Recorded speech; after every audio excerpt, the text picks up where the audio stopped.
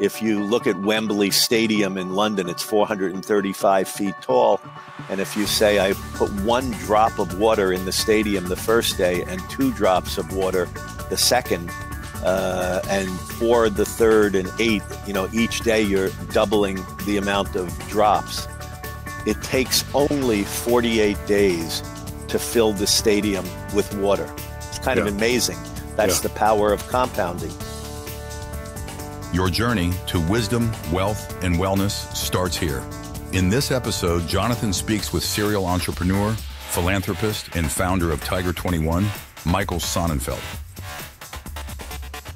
Welcome to Wisdom, Wealth, and Wellness. This is Jonathan Satovsky, and today I am blessed and honored to have uh, the esteemed Michael Sonnenfeldt, who's I've known for, uh, I guess, a decade or so, and He's the founder uh, and chairman of Tiger 21, a premier premier peer membership organization for high net worth wealth creators and preservers.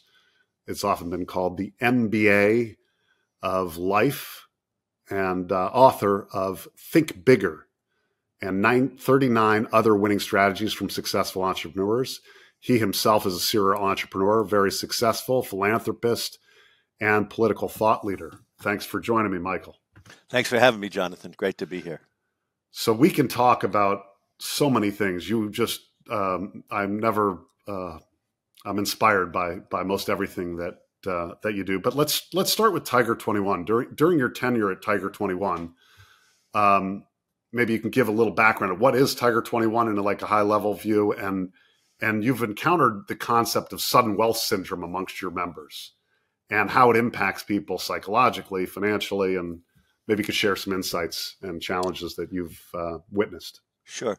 So I've just returned from the North American Chair Conference. What that means is we have groups all around the world of 12 to 15 members, and each group is facilitated by a professional who we call a chair. And these now 100 plus groups meet around the globe every month for a full day. The organization is 24 years old, and um, I've come to realize that there are some extraordinarily great peer to peer learning organizations.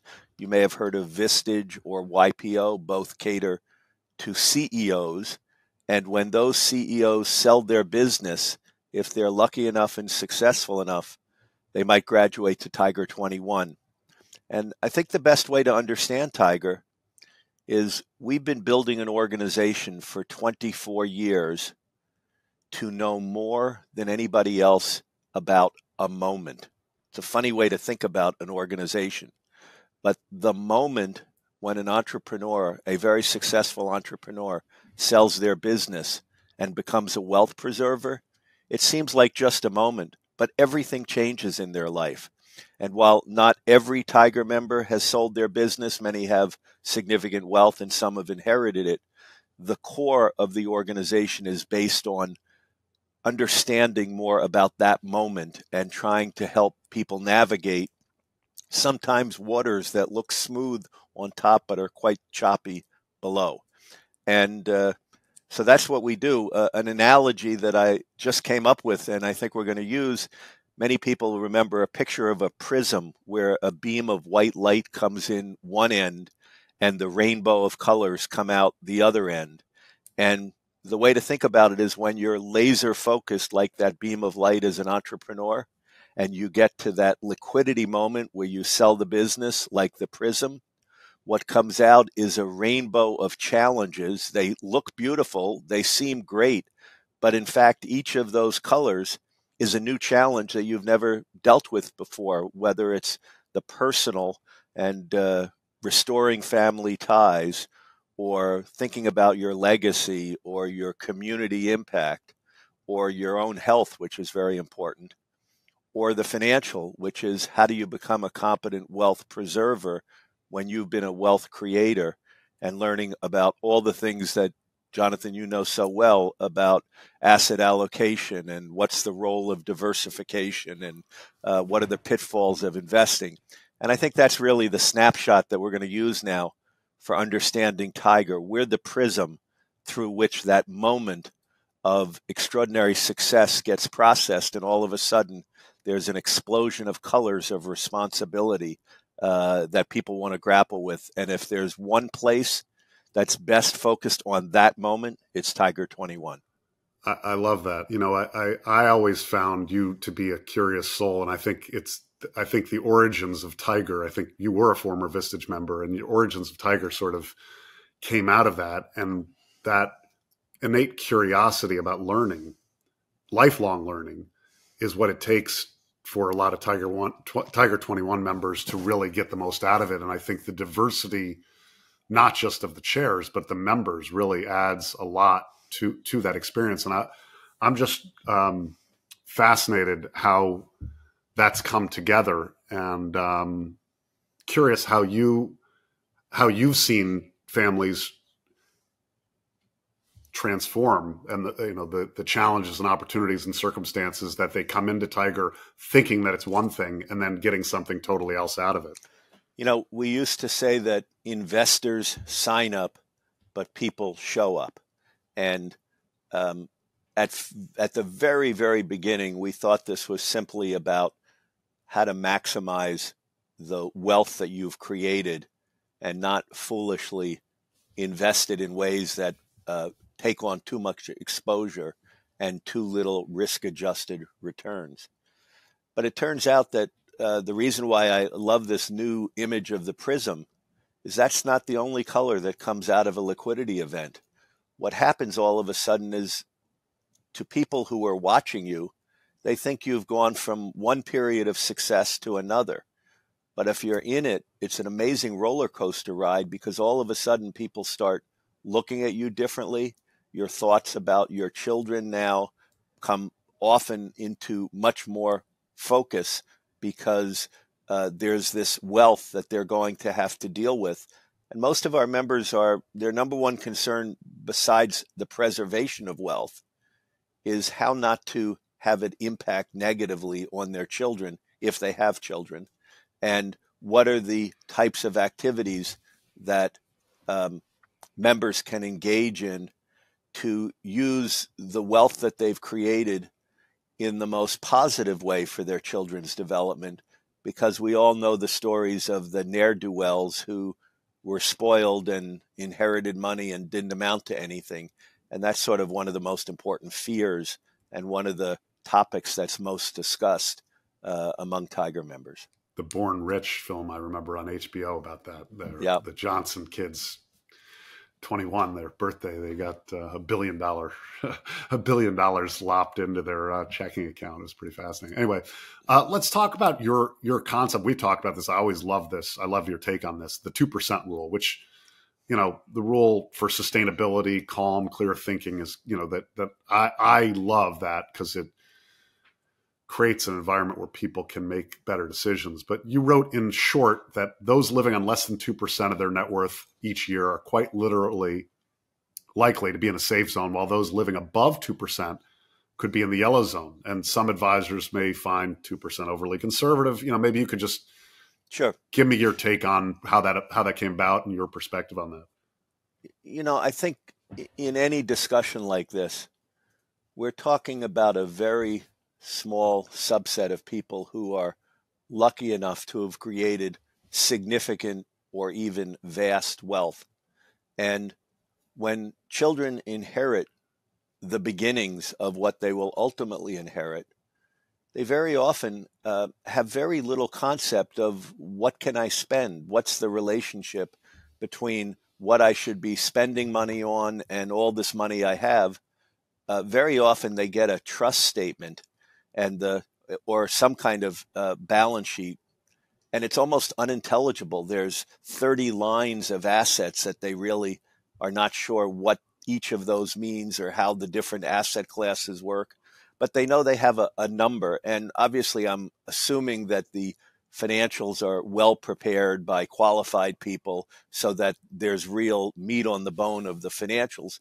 But if you're a young person and you know that you are now quote worth 5 million or 10 million or 50 million pick any number you want inevitably the question is how do I how do I handle that? And what we've observed among Tiger members and Tiger members today have just passed the billion and a 150 billion dollar mark. Wow. And uh, today is a special day. I think either today or tomorrow we will admit our 1300th member wow. around the globe. Um, and um, uh, so the question is, you know, what's prudent? And this isn't just about kids. It's a similar calculation for members who've been working and having businesses generate lots of income and now they sell it and they just have a, a pool of capital. And the 2% rule basically says if you limit your expenditures to 2%, you're not likely to go wrong. Obviously, if you don't make a penny on the rest of your assets, you can live for 50 years because 2% times uh, 50 years. But it's a, a, much more profound notion that um, if you ask young people and sometimes old people, you inherited a million dollars, how much can you spend a year? You get the craziest answers. You can't believe how people who otherwise are intelligent will say, "Oh, I could spend a hundred thousand a year or two hundred thousand a year," and it doesn't take too much to realize that if you're spending 10% or 20%, the money's going to last five or six or seven or eight years. And, you know, frankly, I know examples where people have inherited money that if they had simply prudently spent at the 2% level, the money would have lasted them for a lifetime. But because they've been irresponsible or at least not particularly thoughtful about it, or made lots of excuses why they needed to spend the money faster. They wake up one day and are shocked that it's gone not too many years after they inherited it. So 2% is the safe zone. Obviously, it's a little tied to interest rates. With higher interest rates, maybe you can earn a little more and spend a little more. And uh, if you have forms of assets like pension funds uh, that increase your relative returns, then you can also spend a little more. But in the absence of anything other than knowing you've inherited X dollars, 2% is the safe zone that you want to aspire to. I love that. And, and in fact, I, I've, I've being in the financial planning world for the last, you know, several decades, I can tell you um, absolutely that it doesn't matter whether someone has a hundred million dollars or a million dollars. That concept applies to everyone in retirement. Thinking about themselves like an endowment is how I've always framed it because you know you're not rich if you have 100 million and you spend 10 million a year but you are rich if you have a million and you spend 20,000 a year you know you you right. you, you have a lot more freedom. It's kind of amazing. Um yeah. anyway you've said i remember you saying something about like what in the end it's all those dreamers among us that will keep the american dream alive for all of us what is the american dream to you, you you've that's you've had an inspirational idea about this particularly from your own roots and your own journey. It's it's it's amazing. You know, the American dream is is a fantastic concept. I'm not sure how relevant it is to how many of our citizens these days because we've we've lost a bit of it. One of the things is uh, at the core is a notion of whether the United States is exceptional in any way, and we could debate the pluses and minuses, but in my mind, one of the most extraordinary things was I enjoyed an, a, a really excellent success as a young entrepreneur in my first project. It was a real estate project that happened to be then the largest commercial real estate project of its type in the country, which I thought at 25 was the natural order of things. And then I realized I was a lot luckier than I had understood. But the American dream said you can dream as big as you want and doesn't mean you're going to achieve it, but you have the right to pursue it and you might just achieve it. And uh, in my early 30s, as I traveled around the world, what was most amazing to many people I met was not my success, but that we have a society in which one can succeed at the level I had succeeded. And that's a fundamental difference. Many societies, no matter how successful you are, uh, you can achieve. Now, of course, there are many issues with success, and we have uh, not only the polarization that is uh, at the heart of a concern about American future. Uh, we have climate change, which um, some would say is a reflection of the excesses uh, and lack of responsibility of capital, and particularly the oil and gas companies.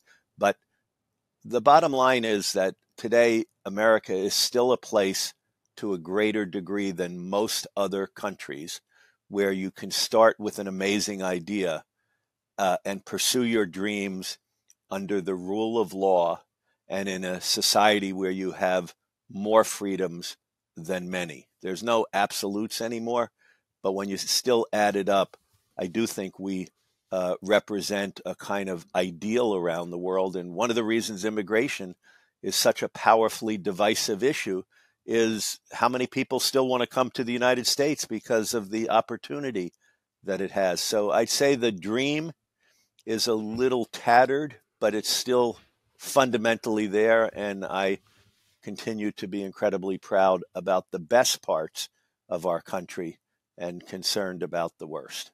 And you're and you yourself, I mean, you you keep you set a dream, you accomplish it, you create a new dream, you accomplish it, you create a new dream. Like, you know, as you as you've been taken on, you, you mentioned the issue of climate change. I love the project you're working on with MUUS. You you know, you've you've accumulated success beyond probably what you imagined as a child and now you're like okay what next you could easily you know just relax and just you know coast the rest of your life but you want to dig in and you've devoted your time money and energy to dig into this climate thing maybe you could talk a little bit about it because i know you're passionate about it and i and i'm i'm excited to see how it unfolds because you know to think that you can use your resources to make an impact in the world in the way that you are is is a beautiful thing. So I, would love to hear a little sure. bit more about it. You know, I'm lucky enough to be part of a small but growing community of people who are not only concerned about climate change, but have the resources and the values to be fighting it with every means available because we won't win unless we uh, approach it that way. And what that means is philanthropically, uh, politically, and financially. My politics are not single issue, but dominated by uh, people who understand climate and are willing to make the changes. Uh, philanthropically, by uh, looking at institutions around the world, uh, pr- primarily educational, but not only, uh, that are teaching people about climate and what the solutions could be. Uh, recently, I was very proud to name the Goldman Sonnenfeldt School of uh, Sustainability and Climate Change at Ben Gurion University in Israel and the um, Environmental Law Clinic at Yale Law School. We endowed as the uh, Goldman Sonnenfeldt Environmental Clinic. And I'm most active at MIT, where I'm a co chairman of the Path, uh, Climate Pathway Project, with uh, Professor John Sterman, where we have the model that is uh, generally credited as perhaps the best visualization of climate. Anybody can go to it. It's at En-ROADS, E N R O A D S. It's uh, it's on the web. It's open source, and then investing in venture capital in firms that will decarbonize or reduce the methane. Uh, and um, I'm mentioning these three different approaches because they're very compatible and one builds on the other. The knowledge we get at the top institutions helps shape our agenda of where we want to invest. And uh, the knowledge we get at those top institutions help us inform politicians who are really searching for answers in the best of circumstance. But the science it can be daunting and it takes a real uh, group. So I'm very proud to have built a team of seven incredible, mostly young people at MUUS Climate Partners. My company name is MUUS. My initials are MWS. So I just took the letter W and replaced it with two U's, and it's MUUS Climate Partners. Um, but uh, you know, this is uh, this is the summer where most people have woken up to understand that uh, something is changing. People don't quite understand the trajectory we're on or the intensity, but between the floods, the hurricanes, and the fires, uh, people are starting to realize climate change is increasingly going to be at the center uh, of all of our concerns. With more, yeah, I mean, what we had more hundred day, hundred degree days in this country than I think ever before. It's kind of amazing. So, well, I, I applaud your efforts, and and I, um, yeah, it's it's inspiring to see someone get involved and dig in at all levels that you're you're thinking about it rather than singularly. It's it's it's inspiring. Um, it's something that you you know when you're involved in something, you probably you know leap out of bed to figure out is there another thing I can do, you know, another angle I can take to make an impact. It's cool, but thinking about that, you know, I uh, brings me to the idea of many high input individuals. Um, you know, I've seen a lot of Tiger members that are so that have such a heavy work ethic, you know, work so hard. And um, how do you approach the concept of enoughness? Um, what I mean is, you know, the fulfillment in your accomplishment without falling into the, the, the the perpetual cycle of striving without being able to strive and enjoy, strive and enjoy. Because there was an article I saw about Elon Musk's productivity hack. You know, taking two to three days off a year, working seven days a week, getting six hours of sleep a night is is plenty, you know? So it's like, really? Interesting. I mean, like, yeah, work ethic's good, but you know, finding the right balance is is is also important to be able to rest and recover. I imagine, yeah. You know, if you imagine being in World War II and wondering what you could do for the war effort, you still need to sleep and you still need to eat, but you might be motivated to spend more time on helping the war effort than in quote normal times, uh, even though you need to have some balance between family life and uh, health and uh, communal life and business. Um, I would say that uh, I have a kind of fundamental belief that each of us is given a gift to maximize who we are and hopefully for the benefit of others uh, to a certain degree. And um, we are we're in a war with climate change now, and it's an issue that will not singularly, but it will it with other issues like uh, the threats to democracy and weapons of mass destruction. There are a handful of issues, another pandemic, that you know threaten the future of future generations, and um, we can't all be working on the same thing. Uh, I I know that if I don't take care of myself physically, uh, I won't be able to do anything. So health is an important concern, um, and uh, I try and uh, stay on top of that, and you know, exercise and eat well and so forth.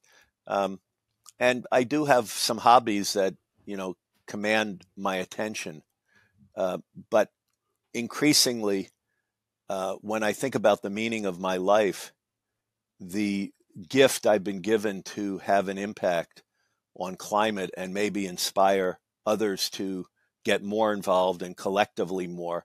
One of the nice things about our system is we're making venture capital investments, and to the extent we're successful, we will attract more capital, which will allow us to have a bigger impact on uh, this issue, which I believe is a defining issue. The challenge is that even today, many people do not see it as the central challenge because it's a exponentially escalating uh, phenomenon, and humans don't have the intellectual capacity innately to understand exponential phenomenon. I'll just give one example.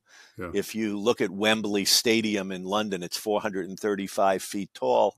And if you say, I put one drop of water in the stadium the first day and two drops of water the second, uh, and for the third and eight, you know, each day you're doubling the amount of drops. It takes only 48 days to fill the stadium with water. It's kind yeah. of amazing. That's yeah. the power of compounding. Yeah. But what I think is more important is on the 38th day, the water is still underneath your ankles. And most people say, oh, well, I know the water is getting worse. But what they don't realize in an exponential phenomenon in 10 more days, the water will go, go from being below your ankles to above the 435 foot tall uh, wall. And climate is similarly, we're, we're at the time where the water is below our ankles right now. We see it, we feel it, but we don't really conceive of what the exponential scaling is and the destruction that it will begin. And of course, we hope that the things we're doing to face it, particularly building renewables, fortunately, solar installations are also scaling exponentially. And until we know which is going to grow faster, but we know we have a hell of a job ahead of us, uh, and uh, we better get cracking.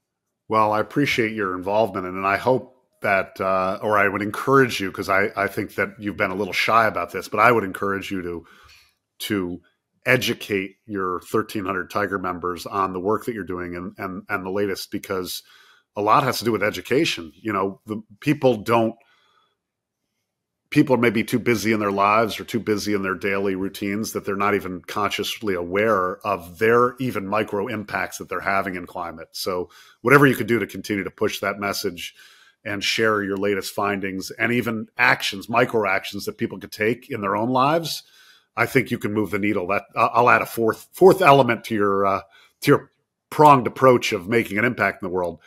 Um, because if you can educate those 1,300 members, then they can educate their family and friends. It's it's. I think that your uh, ability to be able to have an invisible impact uh, will will will have that same exponential impact in, in my view. So, um, anyway, before you started this, you wrote a book about Think Bigger, which I, re- I really enjoyed actually. And uh, you shared several uh, stories about accomplishments of successful entrepreneurs. Um, I know this is kind of a trite concept of like, you know, what's one or two, you know, self improvement hacks. But the idea uh, of this podcast was to talk about things that people can do and micro habits that help them not just in creating wealth, but in their wellness, their health, and wisdom in their personal growth. With I, I, I, think subliminally we're we're touching on all of that in Tiger and maybe your own journal. I just wonder if you had one or two uh, little gimmicky hacks that you think you know meditation, therapy. You know, you've you've done some things that maybe touch on your ability to be able to see things clearer in slow motion. Maybe it's the uh, Japanese uh, experience that you've had over the years. Yeah. You know, the the two that come to mind is I am both a meditator I try and meditate 45 minutes a day. As a practical matter, it's four times a week, five times a week. Uh, and I'm I've been in analysis for uh, analysis or therapy of one sort or another for most of my adult life, and both are ways to uncover the hidden patterns in one's life that are holding you back, but you don't even realize it. You have kind of behaviors that you say, "Where did that come from?" And um, although sometimes, uh, particularly therapy, is medical in a nature, for me, it's a really extraordinary way to uh, explore the inner psyche uh, and the subconscious and get in touch with who I am. And, you know, you, you walk into a room and uh, you could be insecure because everybody looks better or seems more successful or funnier. And if you can be aware the Buddhists have a term of a sort of a, a, a comprehending mind, a, a mind that is both watching what you're doing as you're doing it. If you can be aware that you're feeling that insecurity, it tends to go away. If you're not conscious of it, it tends to drive your behavior in counterproductive ways. Uh, I think the other thing that is overwhelming for me is mentors.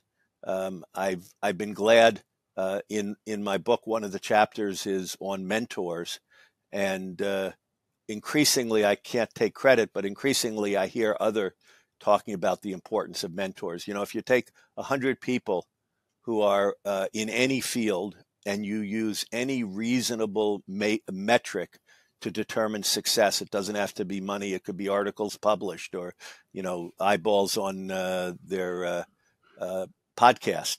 Uh, you take any group and line them up from the most successful to least successful. The 50 that are most successful will overwhelmingly have had mentors, and the 50 that are least successful will overwhelmingly have excuses for why they didn't have mentors. And there's just no substitute in life for learning from somebody who wants to share with you their experiences because then you're levering on their back and the person who they whose back they levered on and on and on and on. And I would say the greatest gift I was able to afford myself was having a handful of mentors over uh, over the course of my career, uh, even today. And and uh, that's that's anybody who doesn't have a mentor, just you need somebody who can give you an objective viewpoint of either your behavior or how to make sense of the world. And uh, I think if I had learned that one thing in business school, I could have got rest of all. I could have gotten rid of all the rest because that alone uh, could take you to extraordinary levels of success. Well, I I have to thank you for being a mentor to me, and and one of the best words that you've shared that I use constantly, because you're when you're a mentor, you're you're hoping someone sees your blind spots, and and your your word that that uh, that I that I love is how to approach someone in a confrontational way. When you see something that they're doing that is not well, how can you say it in a you know sometimes it comes across as constructive criticism but you're saying it because you care about them and you want them to grow you want them to learn and, and develop. Um, anyway we're out of time. This has been an absolute pleasure but let let uh, let people know where they can connect with you where they can learn about MUUS uh, climate partners or tiger 21 social media websites well, you know sure. podcasts uh, we're all over all of those. Tiger 21 is www.tiger21.com and MUUS Climate Partners uh, is www.muus.climate.com. Uh, and uh, I'm always reachable at either. Uh, I'm uh, Michael at muus.com. Uh, will get to me, M I C H A E L at M U U com love feedback, comments, and if I can be helpful, it's always my pleasure. You're you're you're awesome, and you've been gracious with the time, and uh, I'm just excited to see you know the, the the, the decades ahead of how things unfold. Um, so signing off, subscribe uh, free to Wisdom, Wealth, and Wellness anywhere you get your podcasts or on YouTube, and all links are in the show notes and at satovsky.com backslash podcast.